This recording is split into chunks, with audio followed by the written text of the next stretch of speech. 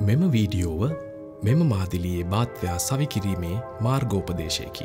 භාවිතා කරන අනෙකුත් උපාංගවල සුළු වෙනස්කම් ඇතිවිය හැක. උපාංගල ස්තුව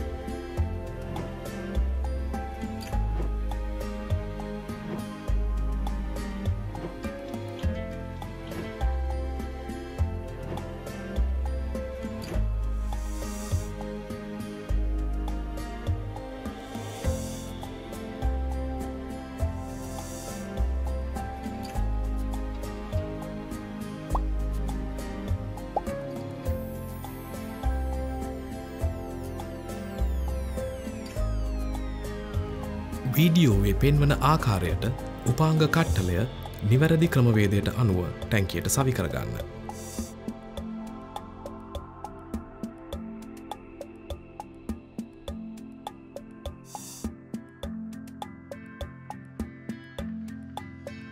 පුෂ් බටනයේ කූරු දෙක ටැන්කියේ දිගැටි පැතිවලට සමාන්තර වනසේ සවි කරගන්න.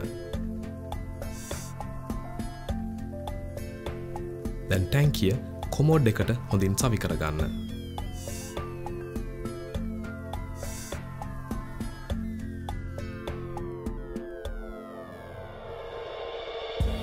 රූප සටහනේ දැක්වෙන ආකාරයට වෝට කලොසට් එකේ පාදයේ ඇති බිමට සවීමට යොදාගන්නා සිදුරු සලකුණු කරන්න.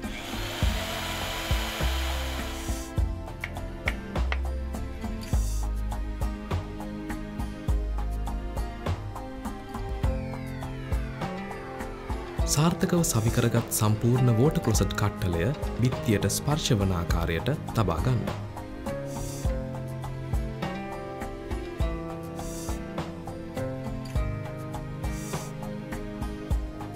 දර්ශනය වනාකාරයට දැන් ප්ලාස්ටික් ඇන සීට් කවරයට සවිකරගන්න.